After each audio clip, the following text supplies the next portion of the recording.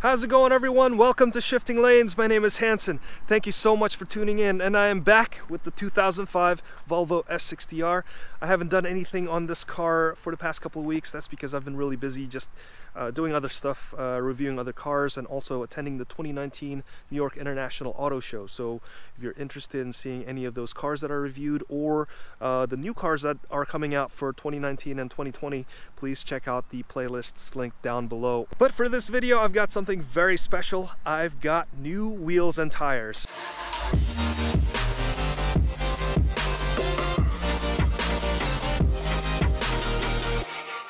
There it is. I've got the Konig Rennforms on the Bridgestone RE71R. And if you want to look at the fitment, it's very close, but it doesn't rub.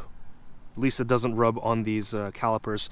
I don't have steering limiters behind here, so I think it will rub on the fender liners, just like the other wheels and tires. Now, why did I go with this combination of wheels and tires? Well, there's many reasons. First, uh, let's talk about the wheels real quick because there's a lot of reasons why I chose this specific wheel. Now, I know a lot of you guys really like the Pegasus look, uh, but to be honest with you, the Pegasus wheels are very, very heavy. And since I'm trying to turn this into an autocross car, I need all the advantage I can get. And one of the easiest places to reduce weight is really in the unsprung weight regions, and that's the wheels and tires. Now, these wheels are 17 by 8 and 38 offset. That's plus 38 and this weighs 17 pounds.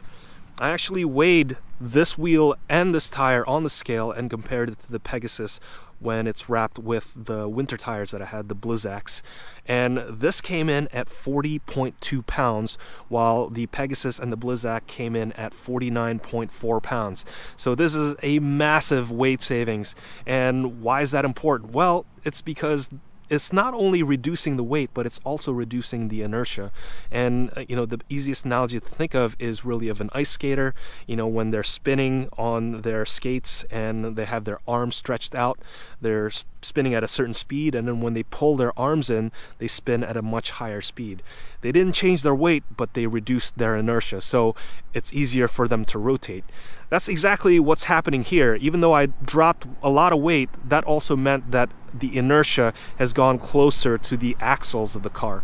So that means that it's going to take a lot less torque to rotate these wheels, which is a very good thing. And the reason why these wheels are so lightweight is because these are flow formed wheels. Now, flow formed is kind of in between cast and also forged rims. These are rotary forged. The difference between a flow formed wheel, and you can see it says flow formed right there, and a cast wheel is that they first start with a cast portion of this face and then they rotary forge the rest of the wheel. What that means is that they're able to use less material but achieve greater strength. So essentially what they're doing is they're cold working the rest of the wheel so that you get better material properties and better strength characteristics. And again, since there's less material on the outside, you are reducing that inertia so that most of the mass is more towards the center. Again, that's going to be better for autocrossing because you're reducing unsprung weight and reducing wheel inertia. Another reason why I went with this wheel is because of the price. This was only $160. Uh, some of the forged wheels out there are could run 500 to 800 dollars and that to me is just a little bit ridiculous this car was only 3800 dollars now why do i want wheels and tires that are more than the cost of the car. So I went with these. And the last reason why I went with this one is also because of the bolt pattern. As most of you guys know, the bolt pattern on this thing is 5 by 108. That's what Volvos run, at least what the Volvo S60R, the V70R, and the C30 runs. And the 5 by 108 bolt pattern, there's really not a lot of them when you're looking at lightweight wheels. Now, I reached out to the Facebook groups and they said that there are some alternatives to the OZ Ultraleggeras that's found on Tire Rack. Now I didn't go with the OZ Ultraleggeras because for their 17 inch wheels they only came with a seven and a half inch width. Now some other people suggested to look at the Team Dynamics Pro Race 1.3 And another person also suggested braid wheels. Now, braid wheels, they are a fully customizable wheel. So if you have unique applications, they could just make whatever wheel you want. Uh, that's a really cool thing. Uh, but for my applications, again, I didn't want to spend a lot of money. And the Konig Rennform is basically the perfect wheel that fit my budget and also fit this car. Okay, let's talk about the tires real quick. The Bridgestone RE71R, if you talk to any autocrosser, they'll basically suggest two different types of tires the RE71R and also the BFG Rivals. Now the BFG Rivals only come in select sizes. Uh, this one, since it came in the 235 45 17, I was like, yep, this is the tire I'm going with. So yes, there are a lot of tires out there, but I decided to go with the RE71Rs for now, and I'll let you know what I truly think about them once I've gotten a few autocross sessions in them. The wheels are about 160-ish, and the tires are also about 160.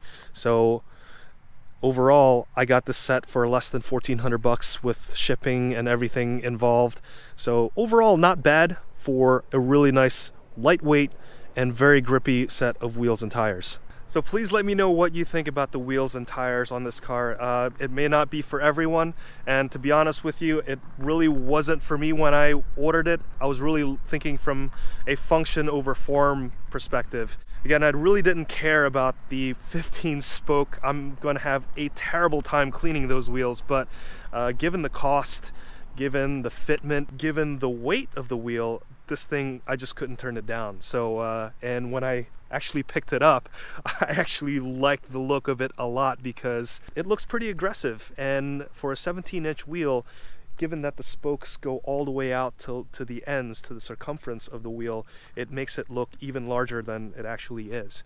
And if you look at it from the side, you, there's also some form of concavity to it.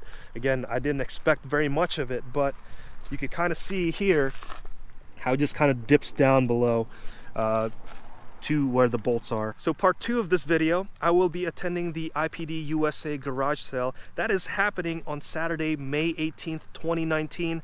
What is that? It's basically the largest Volvo gathering in the West Coast. It's a car show, it's a garage sale, it's a swap meet, and it's also for charity. IPD USA has teamed up with Nursingale. That's a Portland-based pediatric nonprofit dedicated to helping medically fragile children and young adults attain the highest quality of life possible by providing in-home, family-centered nursing care with an emphasis on keeping families together. So come out to the event. It's going to be a great time and I'm looking forward to meeting all of you guys. And also if you're interested, I don't know if you noticed this, but we've got the Hellwinkle logo on the car. So I'm going to bring some of those stickers also to the IPD USA garage sale and I'm going to give away the first 10 pairs. Now if you can't make the IPD USA garage sale event or if you want to buy these stickers now, please let us know. Reach out to contact at shiftinglanes.com and we'll give you more details there. So I'm to wrap it up right there. What do you think about the wheels and tires? Please let me know in the comments below.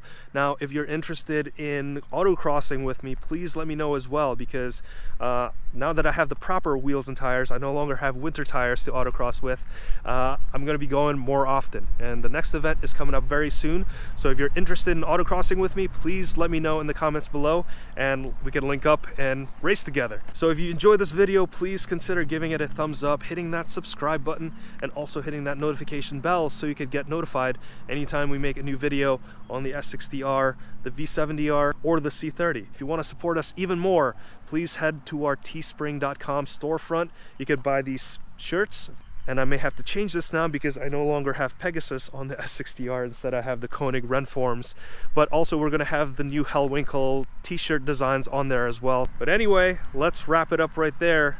I want to thank you guys for watching all the way till the end my name is Hanson, and this has been the Volvo S60R new wheels and tires, and I will see you next time.